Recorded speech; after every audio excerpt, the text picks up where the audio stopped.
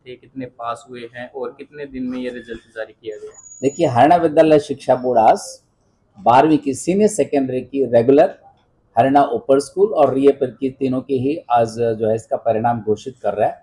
तीनों फैकल्टीज का science commerce और आर्ट्स का।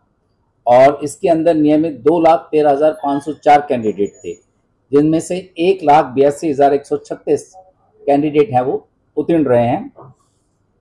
जिसका परीक्षा परिणाम पिचासी दशमलव तीन एक रहा है।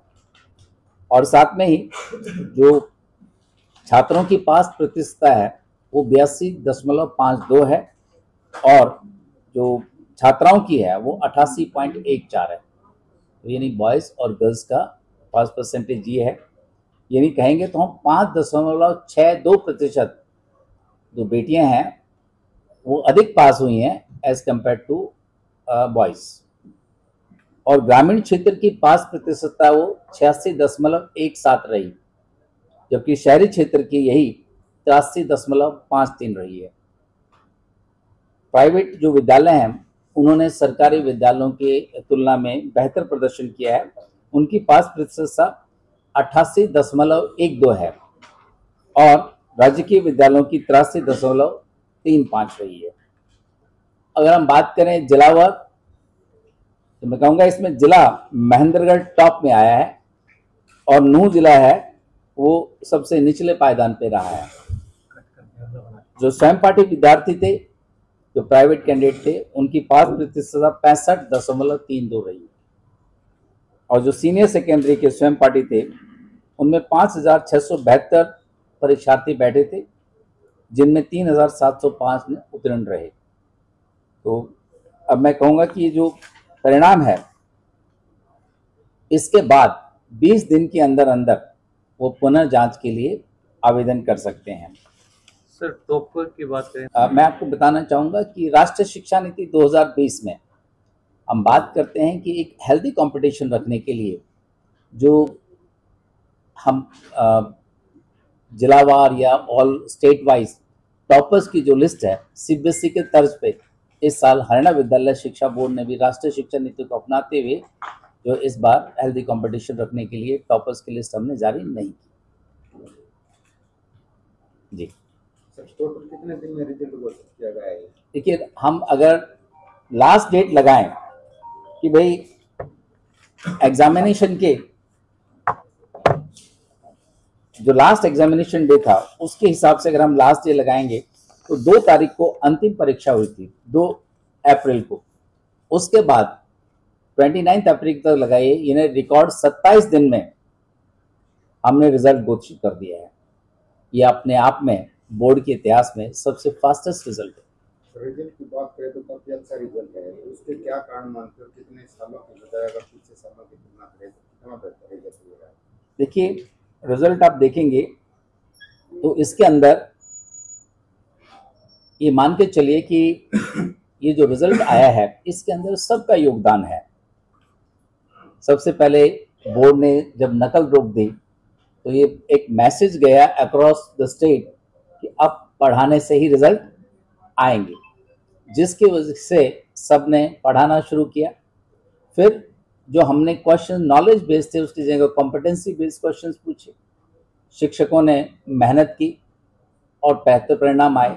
दूसरा, नकल पे 100 परसेंट रोक लग गई है। अगर मैं बात करूँ तो लमातक रूप से 2018 से लेकर तो उस साल पाँच केस थे यूएमसी के। 2019 में 4444 रहे। अगर हम कोविड टाइम को छोड़ दें 2020-21 को तो 2022 में ये तीन हज़ार पाँच सौ इक्यावन केस थे। और 2023 में जब अल्फ़ा न्यूमेरिक कोड लगा तो उसमें एकदम ड्रॉप आया, जिसमें एक हज़ार सात सौ इकतालीस केस थे। और अब 2023 में मात्र 807 यूएमसी केसेस थे। तो अपने आप में ये प्रूव करता है कि नकल पर बहुत रोक लगी है। बच्चों को, शिक्षकों को सब एक मैसेज गया है कि पढ़ने से ही सफलता मिलेगी, नकल के बिल्कुल नहीं मिल सकती। इससे पहले अगर आप देखेंगे रिज़ल्ट तो 2018 में हमने जैसे इक्यावन दिन में, फिर हमने 40 दिन में, इस तरह से 2022 में अट्ठावन दिन ने हमें सेकेंडरी का रिज़ल्ट दिया 2023 में बावन दिन में दिया था। और इस बार बावन दिन से घटाकर हमने अपने ही रिकॉर्ड को बीट करते हुए मात्र 27 दिन में रिज़ल्ट दिया। ये निश्चित तौर पे अभी डेट का मैं नहीं कहना चाहूँगा, क्योंकि बहुत सारी चुनौतियाँ हमारे आगे। अब इलेक्शन कमीशन जो है वो भी अपना कार्य कर रहे हैं। बहुत सारे टीचर्स की बी की ड्यूटी लग चुकी है। इलेक्शन कमीशन से भी लेटर आया है। लेकिन फिर भी सभी चुनौतियों का चुनौतियों का सामना करते हुए बहुत जल्दी हम परीक्षा परिणाम इसका भी जारी करेंगे। जो समय होता है उससे पहले जारी होगा ये। नहीं देखिए हम पंद्रह मई को हमेशा लेकर चलते हैं डेडलाइंस की। और मैं समझता हूँ कि पंद्रह मई से पहले पहले हम उस परिणाम को भी घोषित कर देंगे। सर, आज जो परिणाम घोषित इसमें रिज़ल्ट कितने बच्चों का वेटिंग है या सभी का देखिए ऑन एन एवरेज जितना हमारा रिज़ल्ट होता है, मान लीजिए कुछ रिज़ल्ट है आर एल ई होते हैं ड्यू टू एलिजिबिलिटी है, कोई अवार्ड्स की वजह से है तो अगर देखा जाए तो हमारा तीन चार सौ, पाँच सौ बच्चों का इस तरह का रिज़ल्ट लाखों में जब बच्चे कैंडिडेट हैं तो चार सौ, पाँच सौ का रिज़ल्ट तो हमेशा इस तरह से रुक जाता है। तो जैसे जैसे हमारे पास डाटा आते हैं एक्सप्लेनेशन आते हैं तो इसके तुरंत within three four days या वीक में हम उनका रिज़ल्ट दे देते हैं। सर ऐसी सूचना है कि रिज़ल्ट जो है अभी तक एग्ज़ाम उनके मार्किंग जो है हुई नहीं प्रॉपर फिर भी बोर्ड ने जल्दी में इस परिणाम को घोषित किया। काफ़ी बच्चे ऐसे हैं वो बच्चे उनके साथ परिणाम बनना से अपने आप को फेल या अलग तरीके समझते हैं नहीं तो ऐसा कुछ नहीं है ऐसा कुछ नहीं है। ये जो सूचना आपकी इसका कोई आधार नहीं मैं कह सकता हूँ। और रिज़ल्ट जो है प्रॉपर तरीके से कंपाइल किया है एक एक बच्चे पे नज़र रही है। इतना ही नहीं हमने इवन जो पहले बहुत सारे केसेस अनफेयर मीन्स के होते थे, जिनको हम रोक लेते थे। इस बार हमने अनफेयर मीन्स के केसेस को भी एक एक को बैठकर तुरंत सुलझाया है, और जो बच्चे एग्ज़ाम किए गए थे, उनकी आंसर शीट हमने तुरंत चेक की है। और एक रिज़ल्ट को हमने कई कई बार वेरीफाई भी किया ऐसा नहीं है कि ओवरनाइट में आलन फानन में रिज़ल्ट डिक्लेयर है। एक्यूरेसी के साथ हमने काम किया है। जी। और सर एक अल्फ़ा न्यूमेरिकल कोड आपने प्रयोग किया जी। क्यू आर कोड भी प्रयोग किया था जी और जिस जो इस प्रकार से जिन बच्चों ने पेपर बार आउट किया था उनके पेरेंट्स को भी पकड़ा था उन बच्चों को भी एफ़ आई आर दर्ज जी। और जो अध्यापक इसमें इन्वॉल्व थे इस प्रक्रिया में या जो सेंटर सुप्रीडेंट उन पे भी एफ़ आई आर दर्ज अब बोर्ड का परिणाम एक दिन पहले आ गया तो ये बोर्ड में किन कर्मचारियों की ड्यूटी थी किन अधिकारियों की ड्यूटी थी उन पर भी क्या एफ़ आई आर दर्ज? देखिए नहीं समझा नहीं मैं क्या कहना चाहते हैं रिज़ल्ट परिणाम कैसे?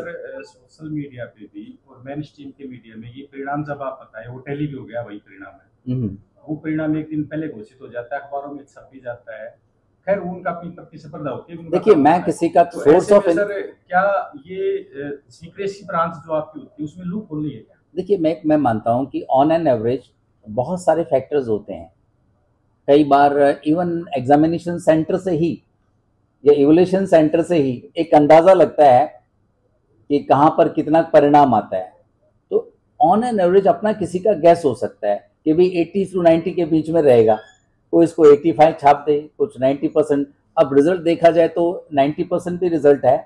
सिंगल्स का ऑन एवरेज रिज़ल्ट है साइंस कॉमर्स आर्ट्स का ये अराउंड 85 का है। बोर्ड से कहीं लीक नहीं नहीं बोर्ड से कभी भी कोई चीज़ लीक नहीं होती है। ये मैम डेफिनेट कह सकता हूँ। अगर लीक होती तो आप सबको पता लगता। टॉपर्स नहीं किए। लेकिन जो टॉपर्स आते हैं उनकी मोटिवेशन के लिए भी हाईएस्ट मार्क्स आते हैं वो एक मोटिवेशन के लिए देखिए हम इसे मोटिवेशन कहते हैं ये लेकिन ये बहुत सारे बच्चे हैं जो नहीं परफॉर्म करता उनको डीमोटिवेट करता है। मोटिवेशन सिर्फ़ पाँच से बच्चों का ही होता है ऊपर- हाँ लेकिन डीमोटिवेशन कितनों का होता है? और इसी पद्धति को समझते हुए या इस तो राष्ट्रीय शिक्षा नीति में ये कहता है we should promote good education thinking education creative education और सीबीएसई ने भी इसी को लास्ट टाइम अगर ध्यान हो तो उन्होंने भी टॉपर्स पूरे इंडिया में कहीं डिक्लेयर नहीं किए तो हम राष्ट्रीय शिक्षा नीति को इम्प्लीमेंट कर रहे हैं और एक हेल्दी कंपटीशन रहे उस दिशा में बढ़ रहे हैं जैसे हम हर साल अपने एजुकेशन बोर्ड की ओर से टॉपर्स को सम्मानित भी करते हैं जी, जी। अवार्ड देके जी। कैश प्राइज भी दिया जाता है तो क्या आपकी बार नहीं रहेगा देखिए हमेशा किसी और तरीके से परफॉर्मेंस में ओवरऑल हम कुछ क्राइटेरिया डिक्लेयर कर सकते हैं वो जो कमेटी गठित की जाएगी ऐसे प्रतिभान बच्चों को कुछ क्रिएटिव कुछ इनोवेटिव जो करेंगे, उनके लिए हम रख सकते हैं। ठीक है ना? तो इस तरह से, लेकिन बोर्ड जो टॉपर्स को सम्मानित नहीं करेगा, इस तरह से क्योंकि इस पॉलिसी के तहत, राष्ट्रीय शिक्षा नीति के तहत हमने ये डिसीज़न लिया है।